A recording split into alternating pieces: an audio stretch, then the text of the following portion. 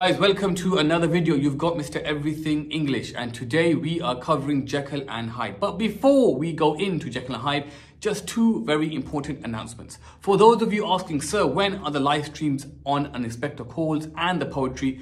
Guys, we will be covering an Inspector Calls and the poetry on May the 23rd, which is the live stream the day before your English Literature Paper 2 exam. And for those of you asking, sir, what about English language? Are you going to be doing anything at all for English language?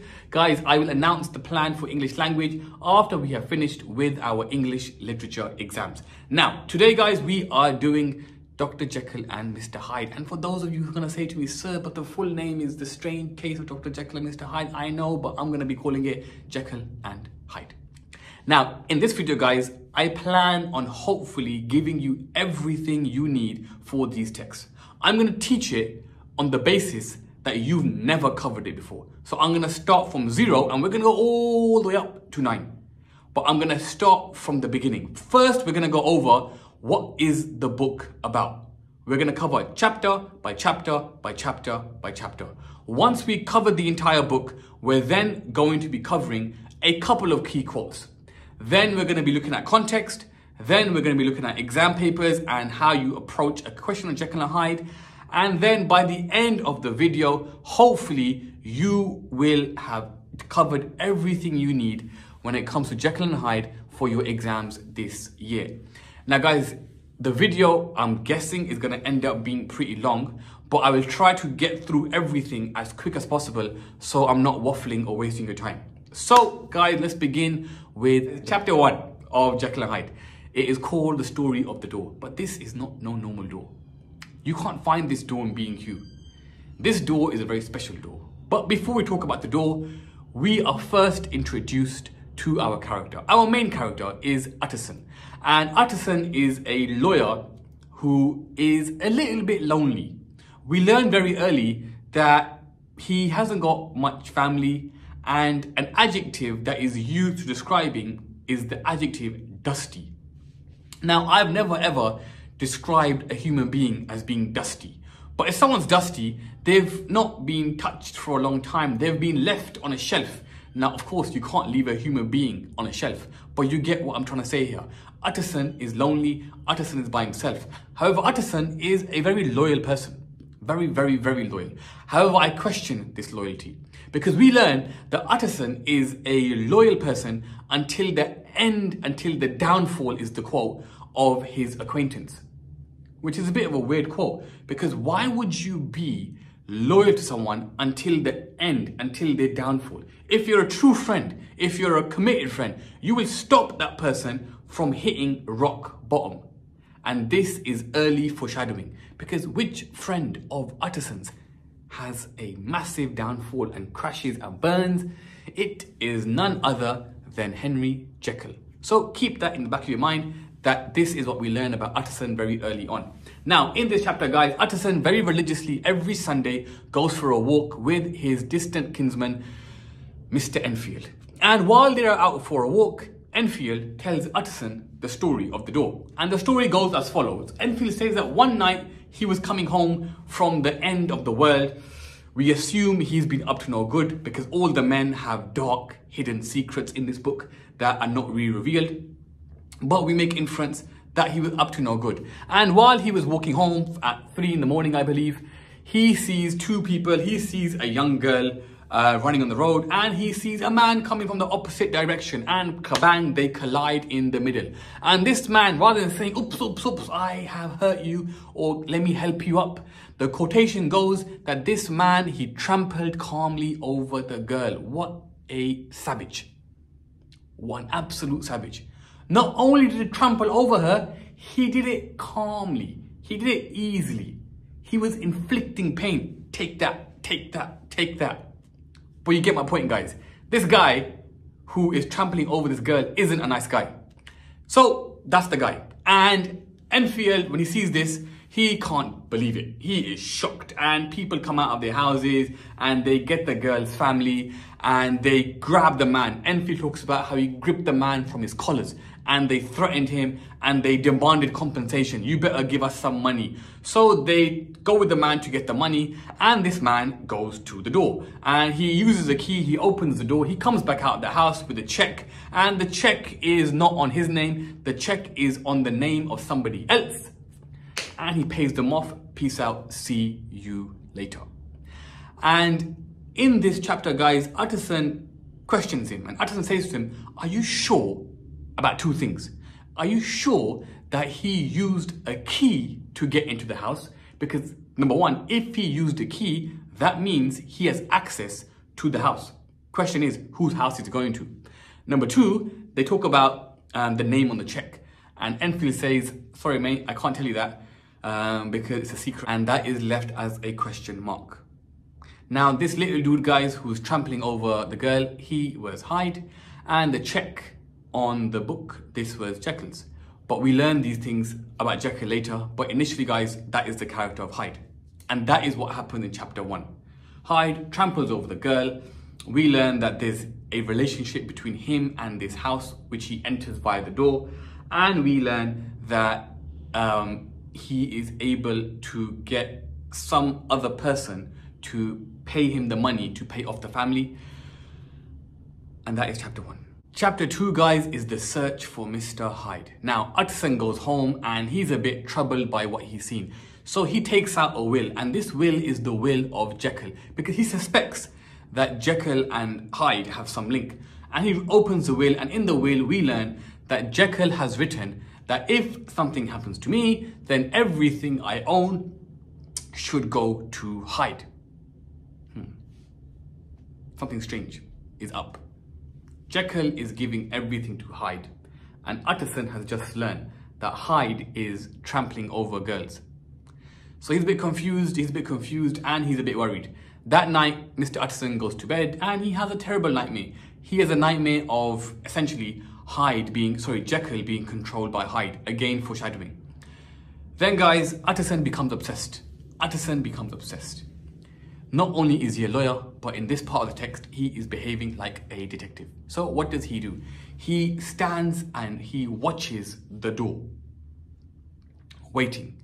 He's waiting for Hyde to come one day and open the door so he can approach him. So after waiting and waiting and waiting, he finally sees Hyde one night opening the door and he goes and he stops him and he is shocked. He's flabbergasted by the appearance of Hyde. And every character that meets Hyde says that there's something wrong with this guy, but we're not quite sure why. And Hyde says the exact, sorry, Jack from Utterson says the exact same thing. There's something up with this guy, but I'm not sure why. And the point you want to make here is Hyde is disfigured. Hyde is wrong. But it's not because it's a visual impairment. He's wrong to the core. So it's that feeling you get when you know something is up, but you just can't pinpoint where it is. And that is what you, what you want to say at this point in the text. Every character that meets Hyde understands that there's something up with this guy. There's something not normal.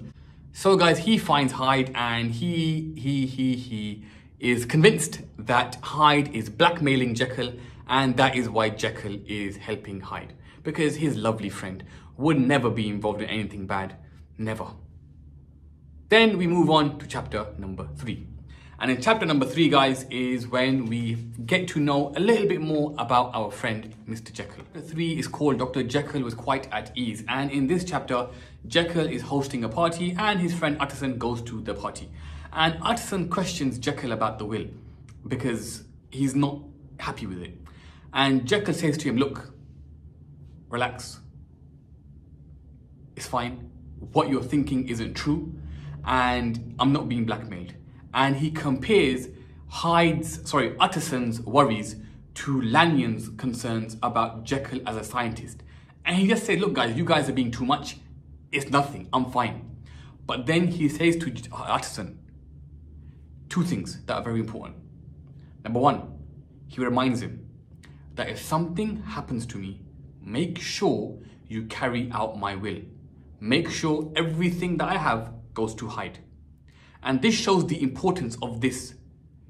Jekyll is not saying, look, forget about it. It's not that important. He says, look, I don't care what you think about him or I don't care what your assumptions are.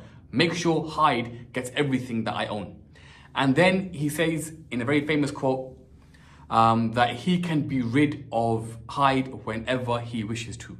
Now this quote comes back later and bites Jekyll right in the bum. But for now guys, you want to just understand that in the first three chapters of our text, the, the, the landscape has now been set. We know Hyde is not a good guy. We know Utterson suspects that something is up. And we know that Jekyll is being a little bit fishy because he's not telling us what's wrong, but at the same time, he's making sure that what he wants to happen actually happens. Then we move on to chapter number four. After setting the scene, guys, chapter four is the Carew murder case, and we've moved on by almost a year. And similar to the story of the door, this chapter is also set in the dark of the night. And the story goes, guys, that the maid or a maid of a house went upstairs and she's looking down upon the street. And she tells the story of what she saw. And what she saw was a horrific crime. She says that she saw Sir Danvers Carew, a rich, powerful member of society, walking down the street. And on the other side, she saw somebody walking the other way. No guesses who. These two men came face to face, and as Carew said hello, Hyde, who was the other man, he got a cane and he battered Carew. He smacked and he destroyed Carew. Carew fell to the ground and then he continued the blows over and over and it talks about how you could hear the bones cracking. Vicious, vicious murder. Wasn't a stabbing of a knife. Wasn't a gunshot. But it was a battering. As though there is a deep hatred between these two men. So Hyde has now killed. From trampling over young girls, his evil has grown and he has now killed. And on guys, they find a letter that was addressed to Utterson. So the cops and whatnot, they end up at the house of Utterson. And when Utterson looks at the murder weapon, he realizes that this is a cane that he gave to Jekyll um, as a present. They then go, so he, he said this must be Hyde. They then go to Hyde's uh, living quarters.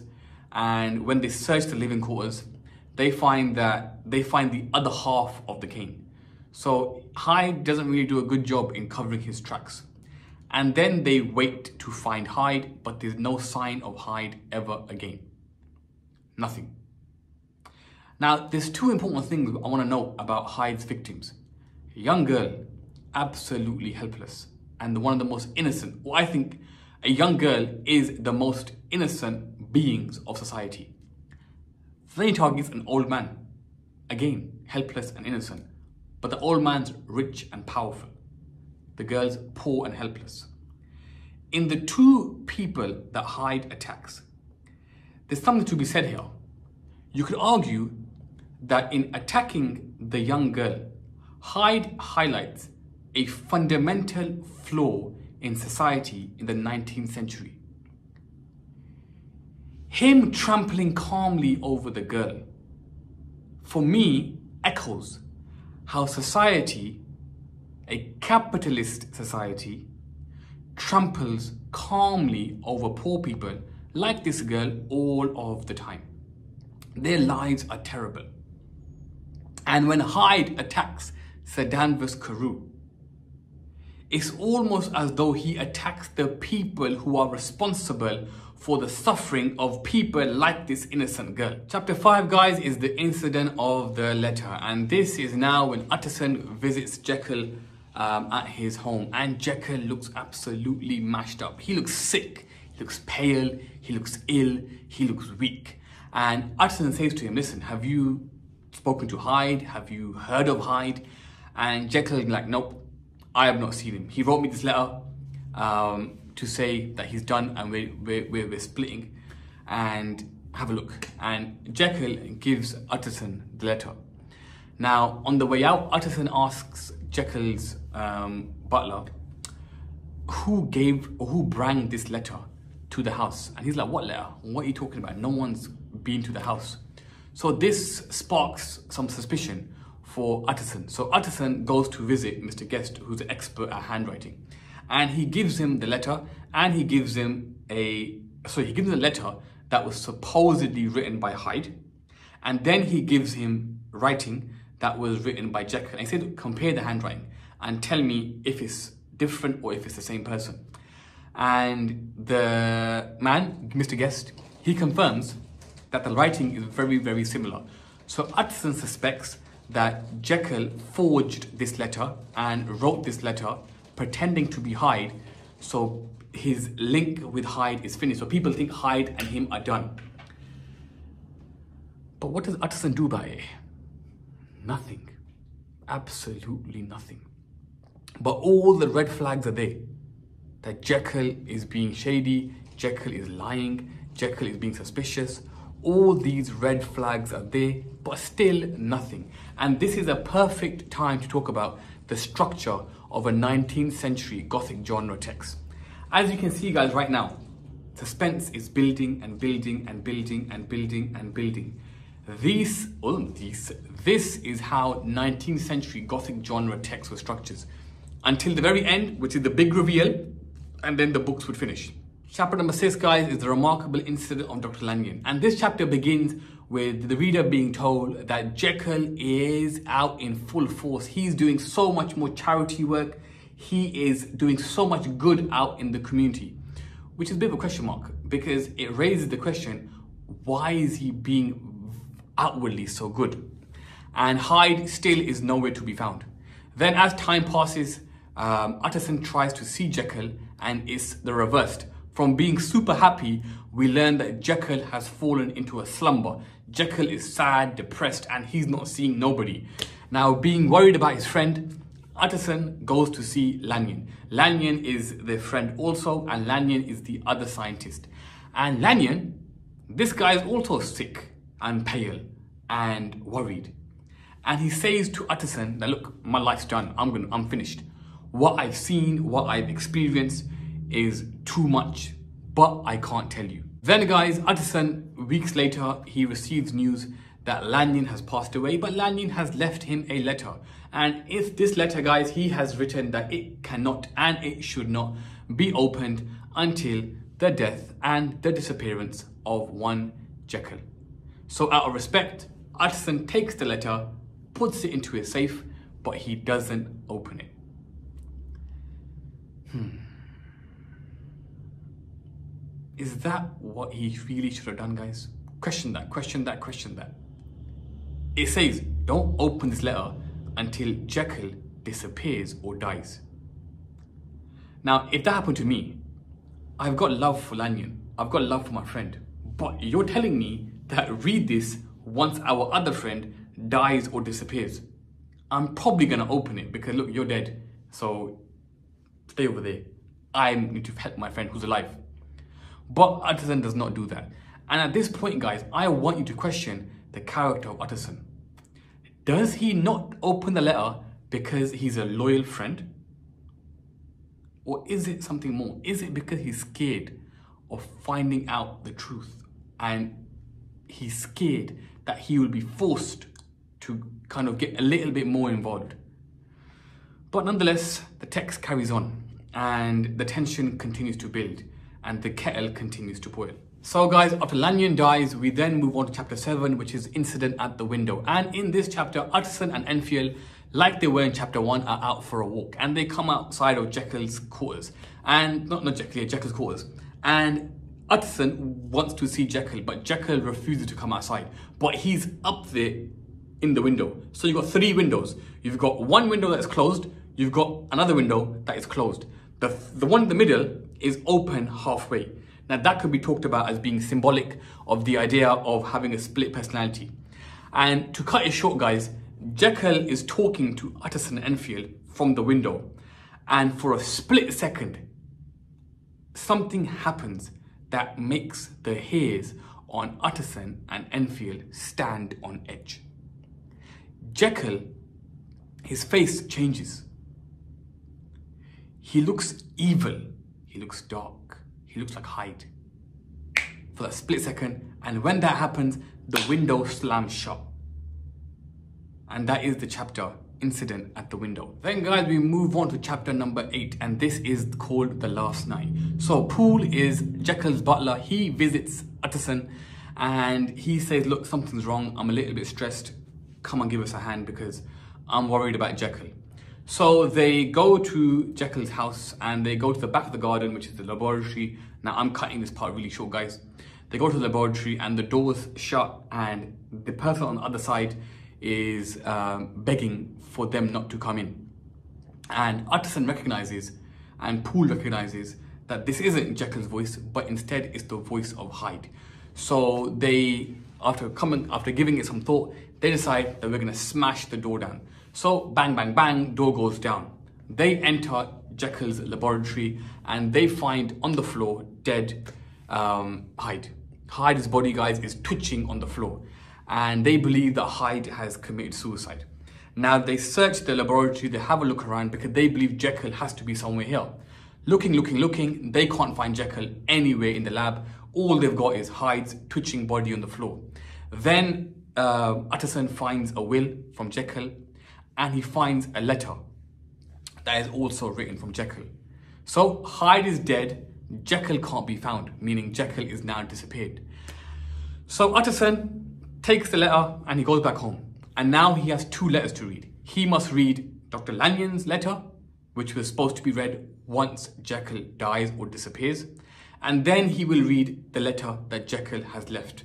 And this is when we move on to the next chapter. And now our story begins to tie up and make sense. So guys, chapter 9 is word for word Dr. Lanyon's narrative of what happened. So Lanyon tells Utterson via the letter that one day um, he received a letter from Jekyll telling him to go to his lab and to pick up these chemicals and to take them back with him and that somebody will come and collect them. So Lanyon goes to the lab, Lanyon gets the chemicals and Lanyon comes back. Now remember guys, this is all being told through the letter.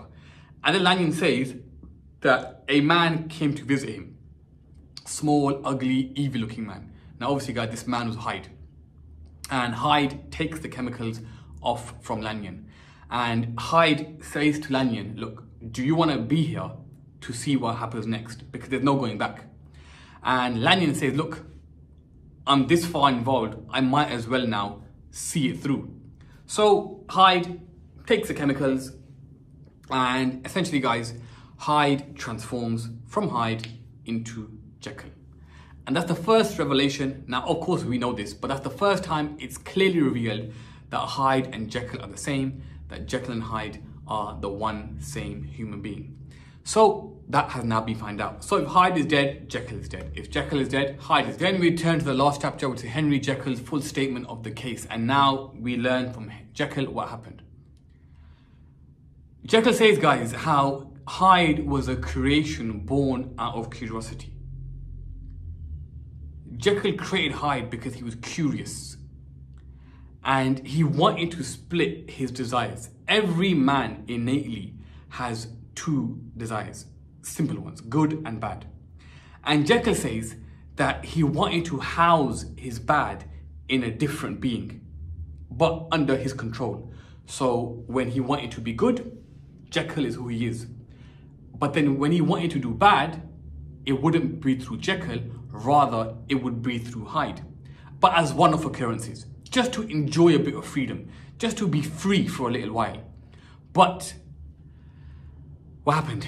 As time went on, from trampling over the girl to murdering Sir Danvers Carew to eventually taking his life, the evil side of Jekyll, which is Hyde, grew more and more and more powerful until it overpowered Jekyll's good side. And once it overpowered Jekyll's good side, Jekyll became an addict to evil.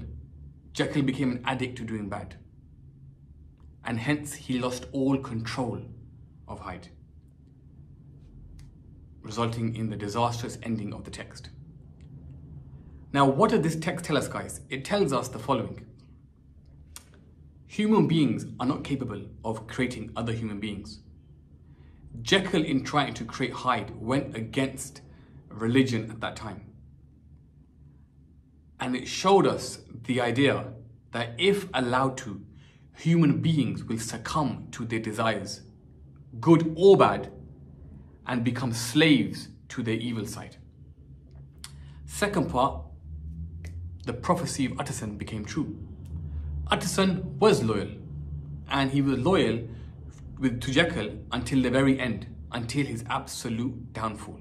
But he did nothing to prevent it. Like a passenger watching a movie or like a person watching a movie, he watched every single scene, he watched every single chapter play out in front of him, but he did nothing to intervene. And that is the entire text, guys, summed up in a nutshell.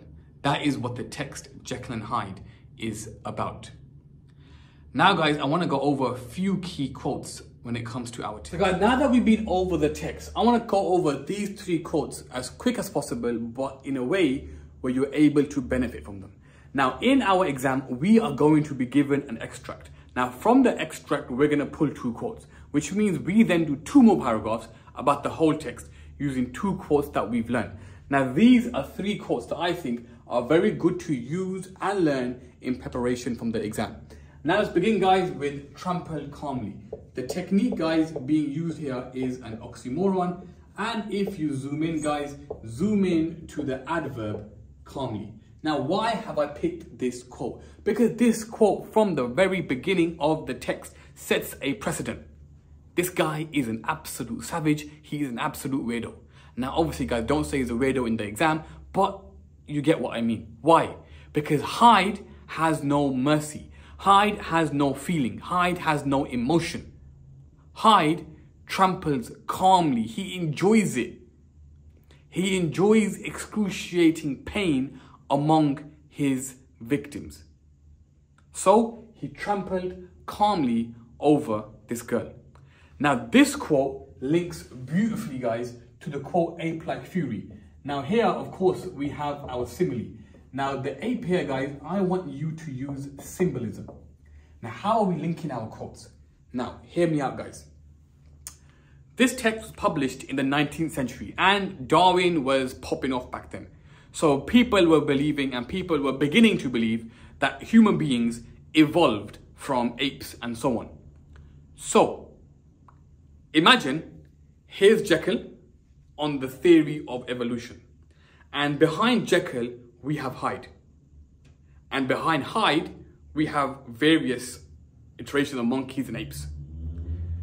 The fact that his fury is described to an ape, it implies that Hyde is not a fully evolved human being.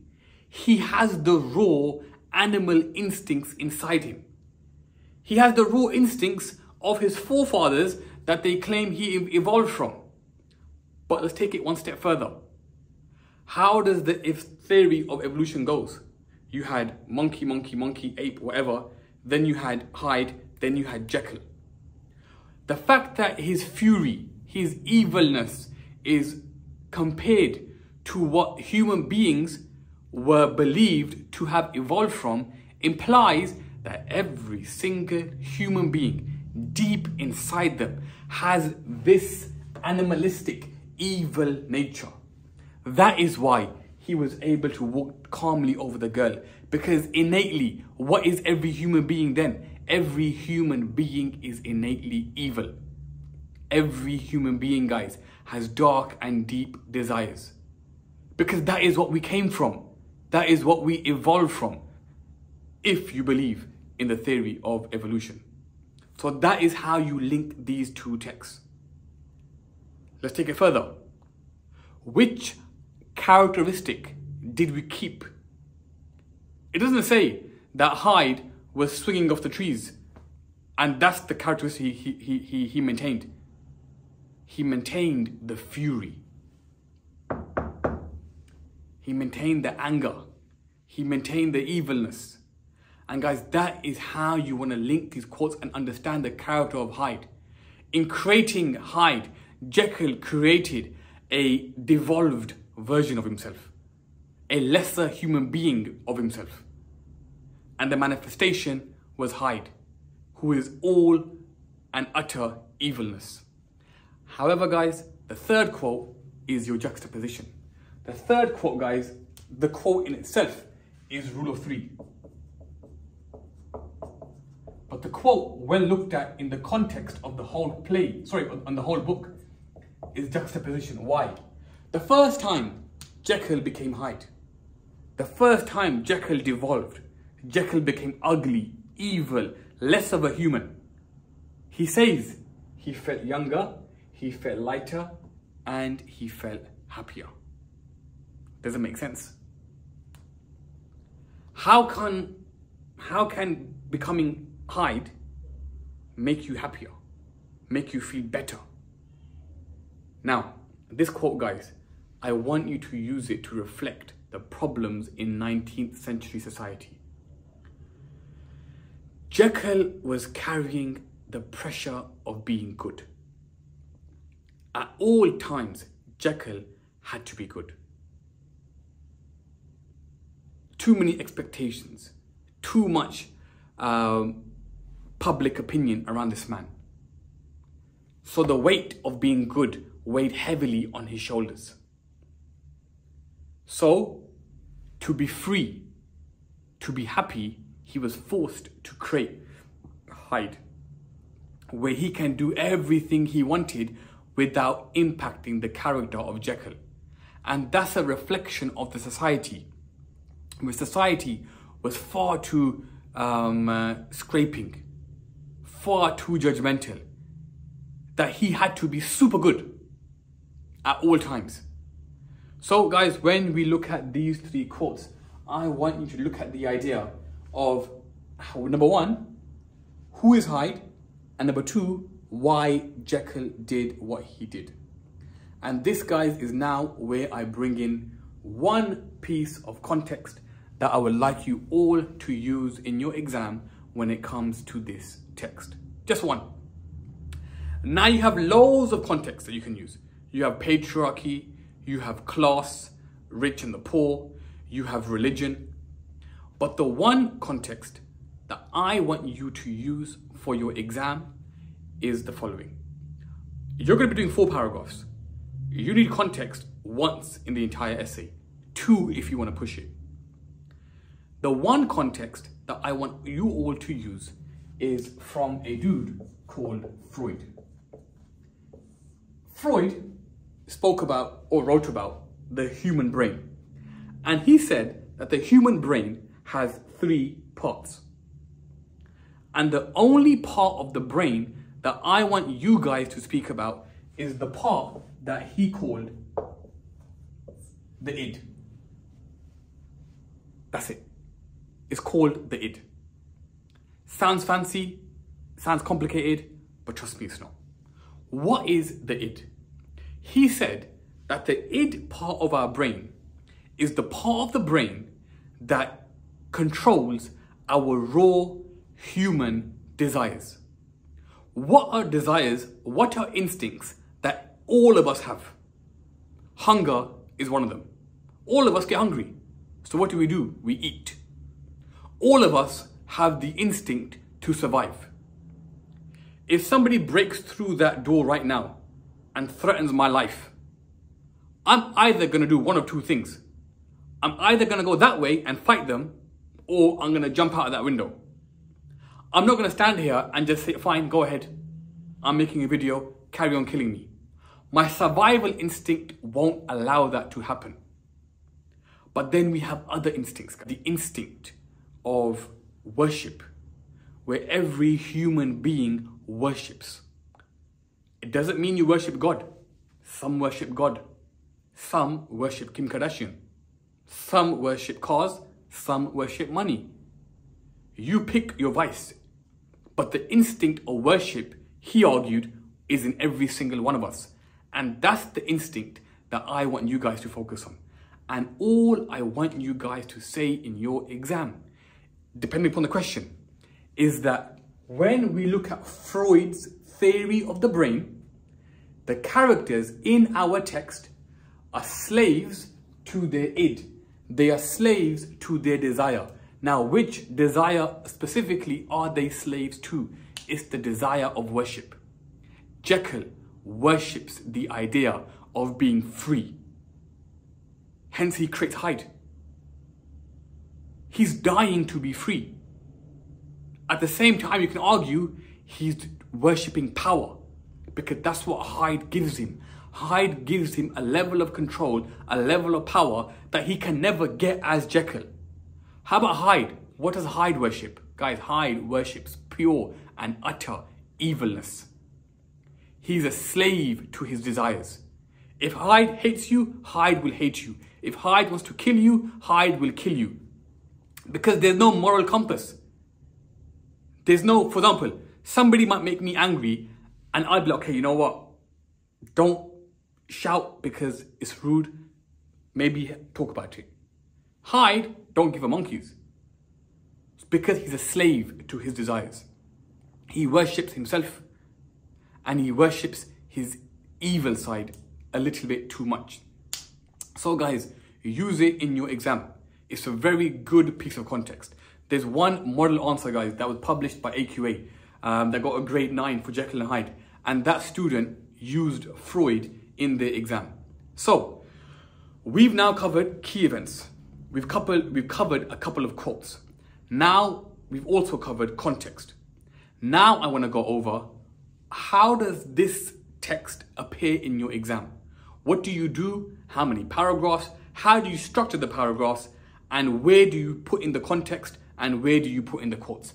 So guys, now I'm going to shift onto the board and we are now going to end this video by zooming in to everything about Jekyll and Hyde in relation to our exam on May the 17th. These are the past papers when it comes to Jekyll and Hyde for the past couple of years. So the question for this one was, uh, Steve's uh, presentation of Dr. Jekyll allowed the reader to feel sympathy for Jekyll. how far do you agree?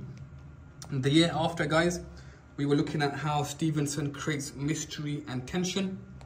The year after that, guys, we were looking at how Stevenson presents Hyde as inhuman and disturbing. And the year after that, which is last year, guys, we were looking at how Stevenson pronounced Jekyll as a mysterious character. So as you can see, guys, it's a bit of ping pong between Jekyll as a character, Hyde as a character, um, and then the theme of mystery and tension. Now, Utterson hasn't come up, which is an interesting um, character because he may make an appearance this year. Now, when we look at every single year, guys, you will notice the following. You are given a question and you are asked to start with the extract. And every year you are given an extract. And this is what takes me to the structure of what we have to do in our exam. In our exam, guys, for this particular question, we have 40 minutes to write and we have 10 minutes to plan. Now, what are we doing here? In the 40 minutes of writing, we are aiming to complete four pretzel paragraphs. And these four pretzel paragraphs have to confidently address AO1, AO2, and AO3. Now, AO1 essentially, guys, looks at your point and it looks at your reference, meaning it looks at the quotes we are using. Now, two of our quotes will come from the extract and two of our quotes will hopefully come from the whole text because this is what you've been revising for. Now, once we picked out our quotes, we have to analyze the effect. Now, what do we analyze the effect of? We analyze the effect of language devices, we analyze the effect of structural devices, and we analyze the effect of the form of the text. Now, once we've done this, guys, the last AO that we focus on is context. Now, we just discussed this earlier, guys. When it comes to context for this exam, I would like you all to talk about Freud and his discussion of the id. Um, so that is how we're going to take off AO3. When it comes to AO1, every paragraph we do will have a point and a quote. Now, how do we tick off language, structure, and form? Let's now, guys, go over the bigger picture of how we're gonna make sure that our four paragraphs tick off the entire mark scheme. Aiming to complete four paragraphs. Paragraph one will be from and about the extract.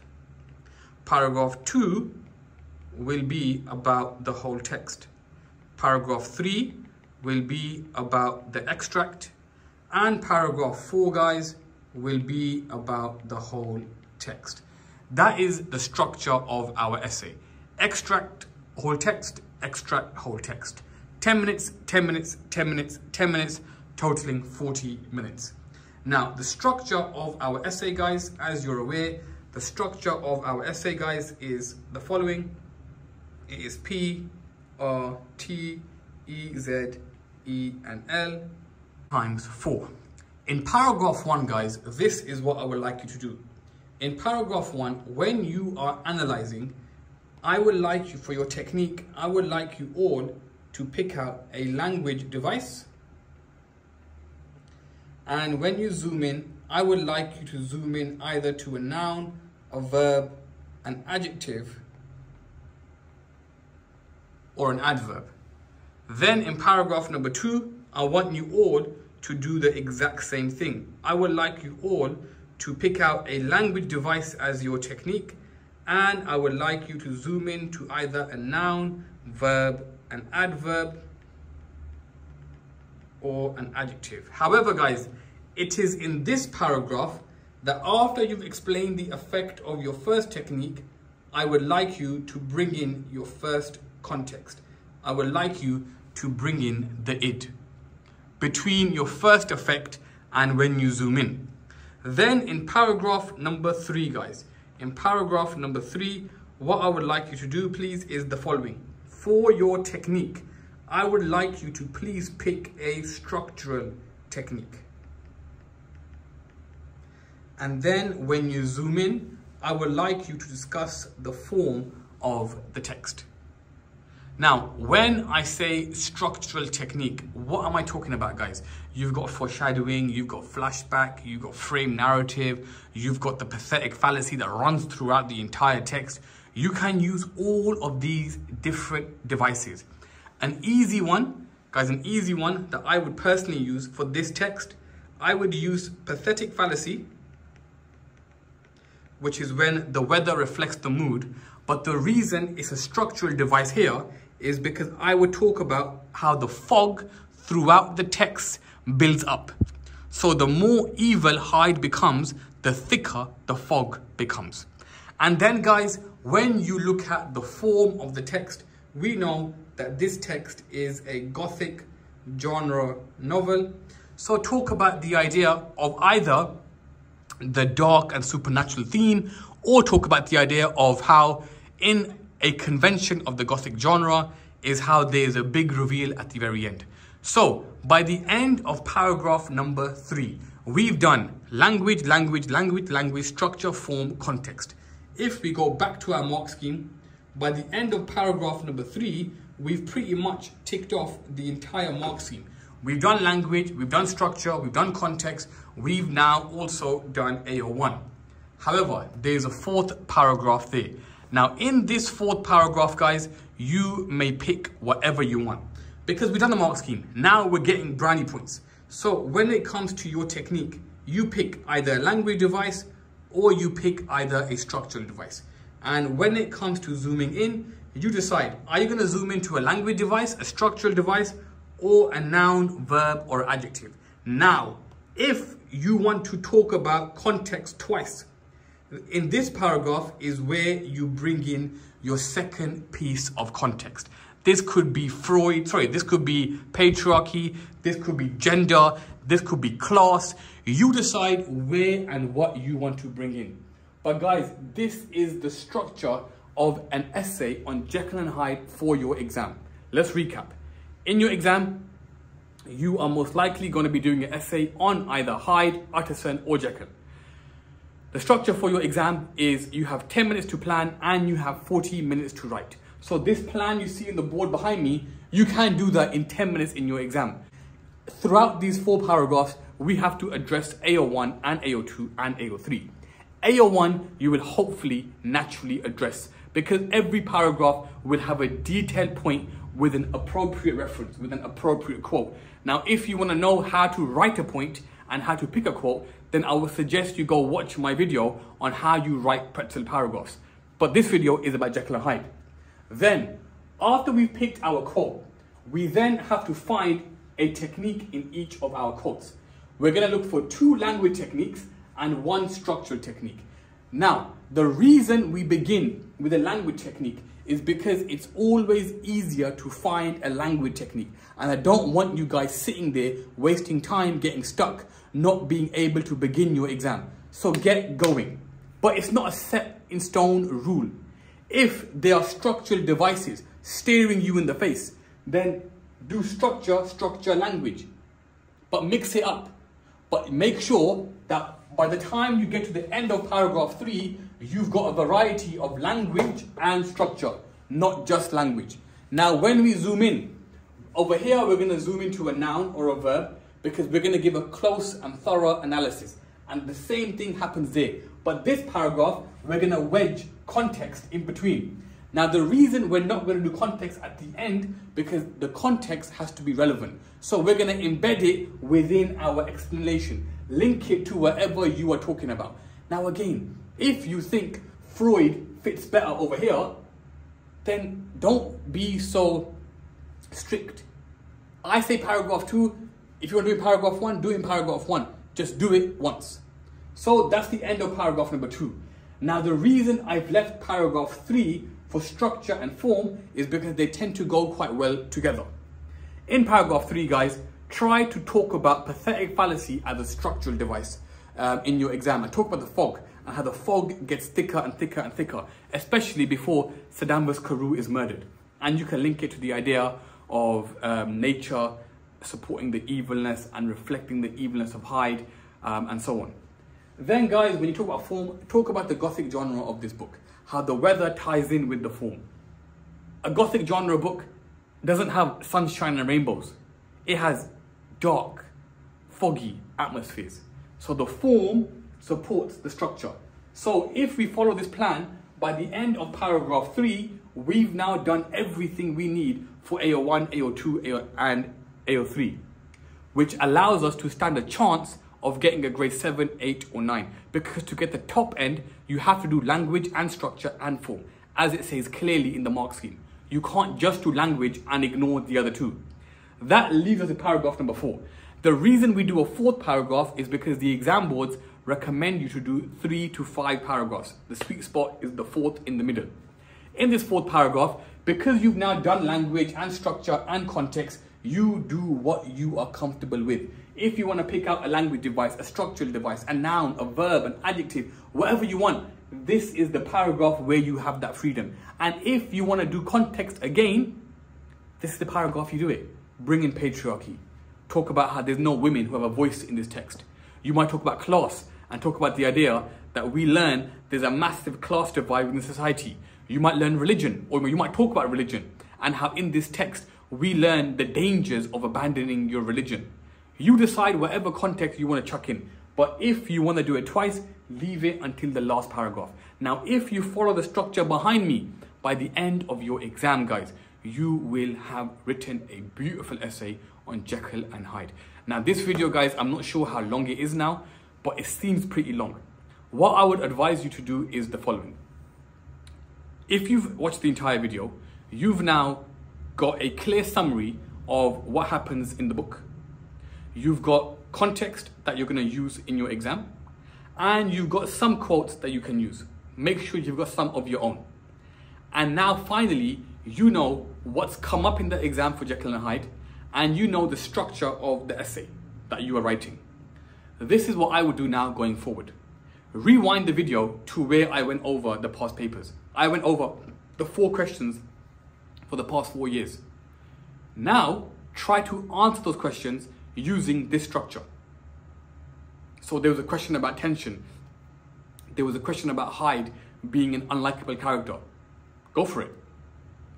Get two paragraphs that you plan from the extract and two paragraphs that you plan from the whole text and see how you get on with this. All right, guys, I hope you found some benefit in this video. I hope you enjoyed the video. As always, guys, thank you so much for your support. It's been Mr. Everything English. Peace.